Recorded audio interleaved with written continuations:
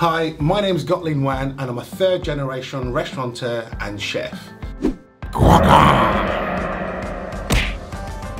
And how did you find your passion for martial arts and cooking? I suppose you kind of Yeah, the cooking, the cooking side of things, it's just uh, ever since I can remember, it, we've always been within a restaurant or takeaway of some sort.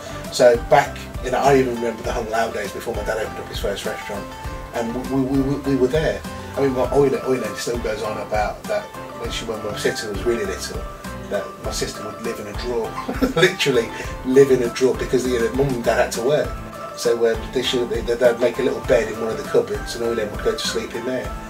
Yeah, and then when, when my dad had the bamboo house, we'd go and visit, and um, and then obviously when he opened up the Panda, which was on Fosse Road, we actually had we had the building upstairs, we had the flat upstairs, so we were always part of it.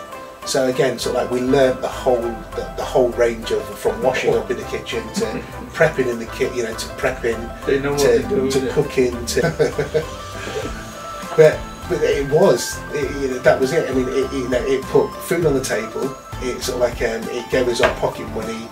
And the martial arts was there was a karate school dead opposite my dad's first restaurant called uh, Secular Hall and then my mum and dad enrolled us there there were TV programs like The Water Margin and The Monkey Magic and I remember painting broomsticks black and gold and silver and pretending I was monkey and blowing cotton wool around the school playground. So martial arts for me has just been something that I've just loved my entire life, and you know, thankfully for myself, I've been able to keep within it. How has the Chinese commun- uh, community supported your um, career and life?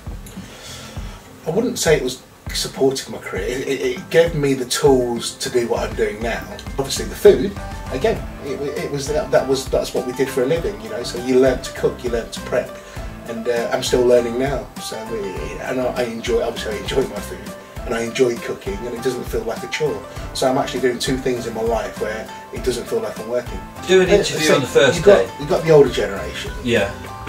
and then you've got the generation where you know British born Chinese sort of like what's been going on but then you've also got the Chinese that are coming over here trying to do something as well and that's Yeah. where Shun and the other some of the other guys will come into it Yeah. and again sort of like know how it all kind of correlates and what we're all going to get out of the benefit of mm. having a central place where we can all go Definitely. Don't forget to check out the link for my new Chinese takeaway cookbook with over 70 recipes of your favourite takeout dishes in the description below. Thank you so much for watching.